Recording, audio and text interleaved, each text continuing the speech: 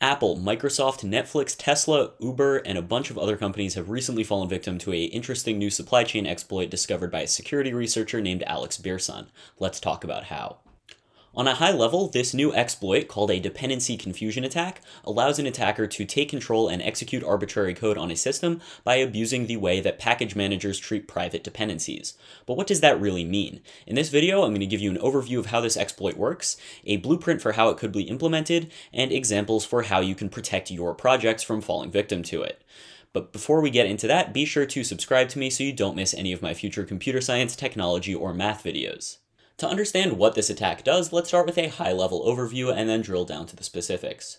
In Birsan's Medium write-up, which I'll leave a link to down in the description, he gives a basic overview of the steps he took to carry out this exploit. Pretty much what would happen is an attacker would find a piece of code from the company that they're trying to attack. This could either be something that they open sourced as a separate module, or it could be something like just JavaScript information that was left behind by Webpack after a project was built. From there, he would be able to find the names of some private dependencies that the company depends on for their projects, but which are not available to the general public. Once he has the names of these private dependencies, he can create modules with the exact same name on public registries, for example npm if it's a Node project, or on PyPI if it's a Python project, and then just give them a higher version number than the private dependencies that the company is using.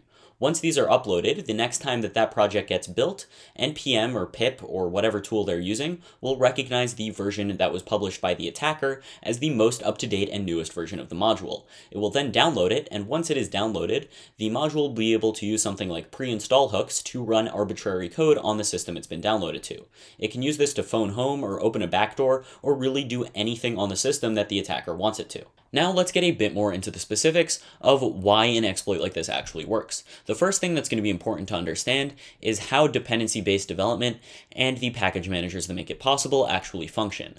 At this point in time, pretty much no company or project has complete vertical control of all of the code that makes up their projects. Just take a look at any Node.js project and you'll see a Node modules folder full of gigabytes of libraries, which the developers probably don't even know what they do.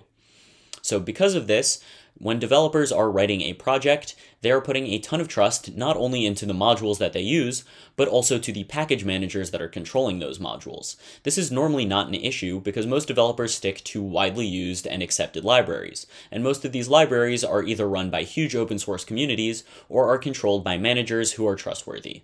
But these are not the projects that we have issues with. The issue comes up when we start to talk about proprietary systems that are being written by private companies. The benefit of package management systems like NPM, PyPI, or RubyGems is the portability that they give code and their version management capability. This is great for open source projects, but companies also want to be able to use these tools for their own private modules and dependencies. In these cases, companies will often take advantage of another feature of these package management tools, namely private dependencies. These dependencies will act just like other public dependencies, but are hosted somewhere else and are not accessible to people who are not explicitly granted permission to use them. This all sounds well and good, but we run into an issue with how these package management systems actually pick which dependencies to download. A common pattern for what they will do is find whatever dependencies on both public registries and whatever private registries a user has access to match both the name and version constraints of the package that they're trying to find. Once it does this, it will often just pick whichever package has the newest version number because it assumes that that is the most up to date. This is where the problem occurs. Let's say that your company has a dependency called mycompany-dep1 and it's on version 1.23.4. Normally, your dependency manager, when you're building a project, would simply look through the public registry, determine that there are no modules with the same name as the one that you're looking for, and then look through your private registry and download the correct thing. But if an attacker uploads a module with the exact same name, and then puts a version number that's higher, for example, version 99.99.99, then NPM or pip or whatever you're using will use the attacker's module instead. Now that the module has successfully made it onto your computer, it can begin its actual attack.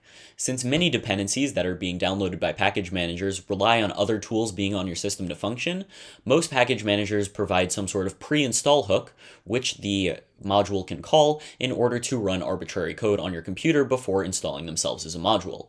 For example, the PyTesseract project, which is a Python wrapper for the optical character recognition engine called Tesseract, needs to actually install Tesseract enabled to function, so it will call some code on your computer to actually do that before installing itself as a Python module. This is fine in most cases, but in the case of a dependency confusion attack like we're talking about here, the pre-install hook can do pretty much anything it wants. It can phone home to the attacker's system with files or information from the computer it got in installed on, or it could do something more malicious like open up a backdoor and start some sort of network attack. So that covers how the attack actually works, but we still haven't discussed how you would actually find the names of these private dependencies. Birsan goes into some of how he did this in his write-up. So the first, most basic strategy you could use would just be to look through GitHub or some other public version control software for code that this company has made public that may include references to their private dependencies. But most of the time, this is not going to work because there's no reason why a company would publish code that has references to its private dependencies because they wouldn't be open sourcing it if it relied on proprietary code.